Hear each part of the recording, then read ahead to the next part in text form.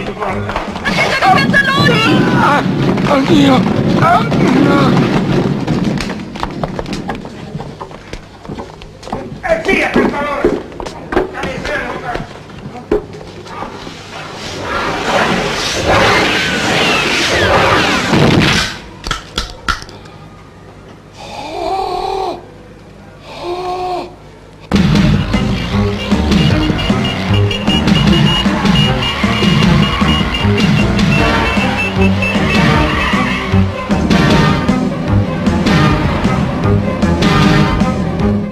Questa scena di Fantozzi ci aiuta anche a sdrammatizzare un po' sulla politica del ritardo. L'Italia è un paese profondamente in ritardo, forse il fanalino di coda dell'Europa con qualche metro di vantaggio sulla Grecia.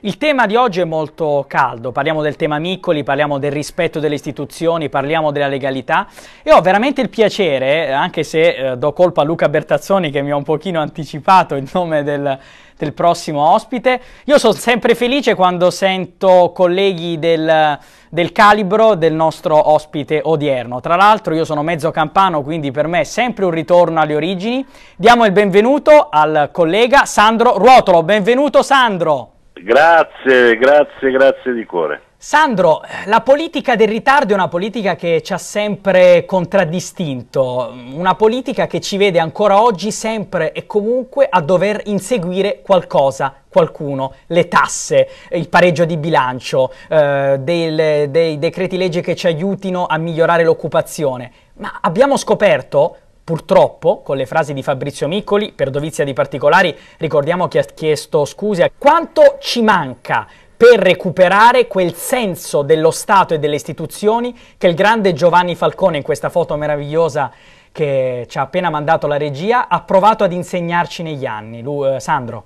Ma manca, manca, tanto, la sorella di Giovanni Falcone, Maria, come, come hai detto tu, insomma Miccoli ha chiesto scusa, ha, chiesto, ha detto di aver parlato con lei, lei nega questo, ma insomma il problema vero è il ritardo, tu parlavi. Esatto. È una crisi, una crisi profonda perché noi, noi più vecchi ci ricordiamo meglio diciamo, quella che è stata la Prima Repubblica, cioè quella Repubblica nata dopo la Seconda Guerra Mondiale con la Carta Costituzionale, dove c'erano gli avversari, poi è degenerata diciamo con la crisi finale di Mani Pulite, quindi della corruzione, ma c'erano politici, ecco questo è il, caso di dire di non generalizzare, cioè erano i padri costituenti, quella prima Repubblica è nata con i padri costituenti, con l'idea la passione di milioni di persone che credevano nei loro valori, dei partiti, delle istituzioni, dello Stato.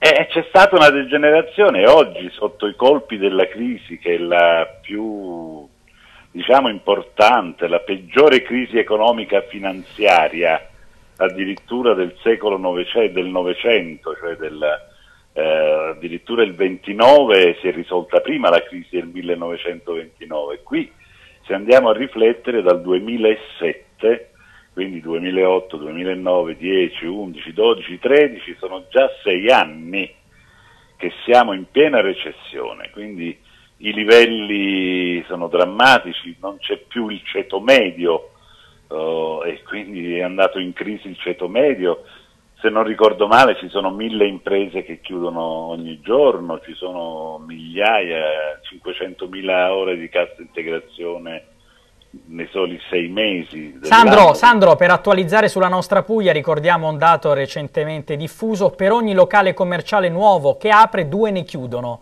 quindi siamo esatto, veramente eh. alla frutta. Siamo alla frutta, allora in questa situazione siamo in ritardo perché dovremmo avere eh, una classe dirigente all'altezza e non ce l'abbiamo, cioè abbiamo la crisi dei partiti perché dopo Mani Pulite eh, gli scandali che abbiamo vissuto anche nel 2013 ci dicono le cose peggiori di questi politici. Una volta, io lo ricordo sempre, una volta mi trovai in Sardegna a raccontare la crisi del Sulcis Iglesiente, che è la provincia più povera d'Italia un vecchio operaio mi disse negli anni 50-60 i nostri genitori ci dicevano arruolatevi, cioè per rispondere alla disoccupazione entrate nella polizia, nei carabinieri, eccetera. Oggi quei vecchi genitori avrebbero detto ai figli entrate in politica, perché la politica è diventata un posto di lavoro. Uno stipendificio. Allora, uno e mentre dovresti pensare al bene comune, pensi agli affari tuoi. Allora abbiamo gli scandali, abbiamo i Fiorito del Lazio o i consiglieri regionali della Lombardia che mettevano in pagamento con i soldi pubblici anche le, le scatole di Nutella. Quindi c'è una degenerazione. E allora se andiamo a leggere anche le ultime elezioni, le ultime elezioni ci dicono che gran parte degli italiani non sono andati a votare, la metà degli italiani o più o meno, e hanno votato un voto di, diciamo, di protesta.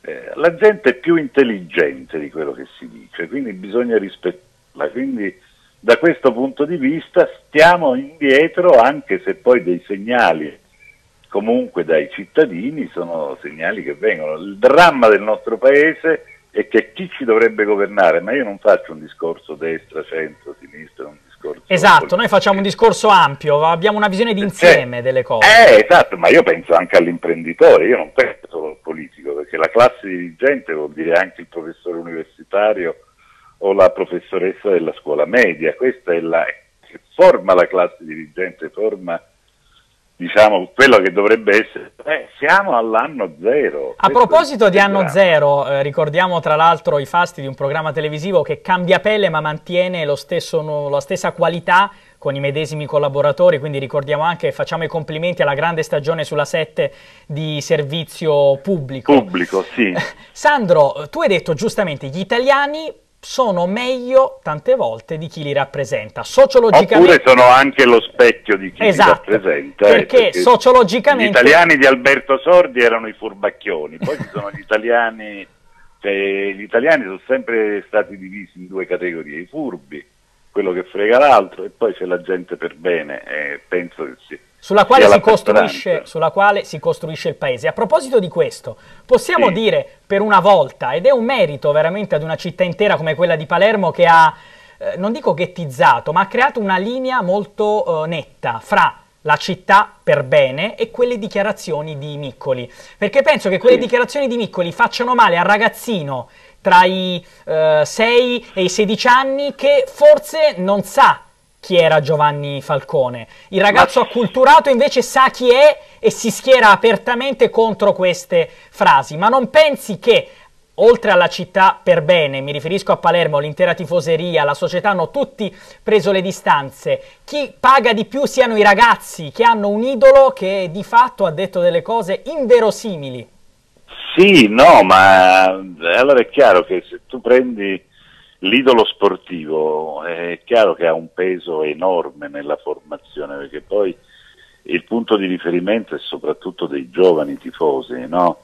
E allora il Miccoli, che poi non è un ragazzino di 21 anni, 19 anni, il Buffon di 15 anni fa che aveva uh, le scritte naziste. E la maglia numero 88, che ricordiamo 88, era esatto. una, uno scimmiottamento eh, allora, della eh, doppia H. capisci che il Buffon ancora immaturo, io non lo difendo, non lo voglio difendere, però posso capire.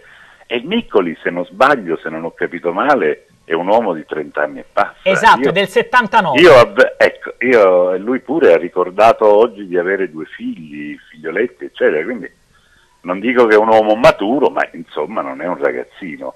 E allora come il politico, il personaggio pubblico, eh, fa tendenza nelle cose positive, nelle cose di consumo, ma fa tendenza anche nei valori che trasmette.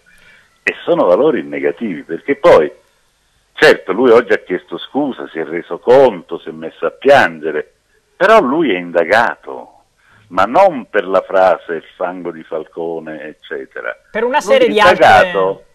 Perché, a parte l'amicizia con il figlio di un boss, ma quando questo boss era latitante, lui è andato a chiedere delle schede telefoniche per questo figlio e quindi presumibilmente l'accusa questa è, quindi è un passo superiore, successivo è andato dal figlio del boss per, per, richiedere dei soldi che doveva avere da uno della discoteca, eccetera. Quindi non è soltanto, diciamo, un linguaggio da, tra virgolette, eh, lo metto da ignorante, da...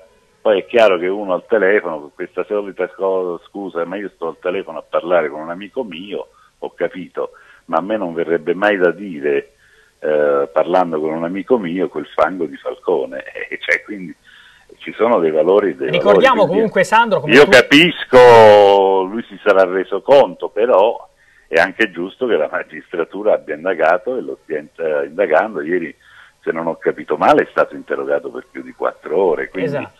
da qui è la cosa, ma qui noi non è che dobbiamo processare. Esatto, poi tu hai detto una cosa molto intelligente e molto netta. Ricordiamo che è ancora indagato, ma al di là di come andranno le indagini, ricordiamo. Non è quello il punto. Esatto, il punto esatto. È che è un punto di riferimento per la società. E questo è il problema. Perfettamente d'accordo. A proposito di questo. Io in questo momento non gli stringerei la mano dopo quello che ho saputo. Avevo una stima infinita per il calciatore Fabrizio Micheli. Eh, ma questo ti fa capire pure il simbolismo di oggi, la cosa per cui lui aveva il Che Guevara se non ricordo male si è preso gli orecchini di Maradona. Litigò con eh, Luciano Moggi per questo, però Sandro, tu sei in eh. una tv commerciale, andiamo in pubblicità un attimo, qualche istante e ritorniamo subito, anche alla 7 è così, no? Certo, con piacere. Arriviamo subito.